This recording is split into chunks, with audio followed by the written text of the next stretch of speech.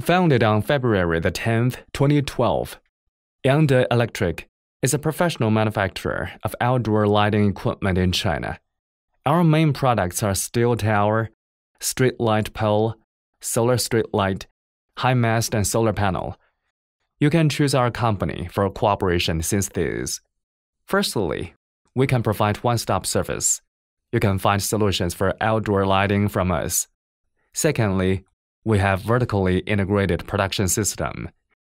We manufacture the main components of LED lamp, lithium battery to solar panel and pole.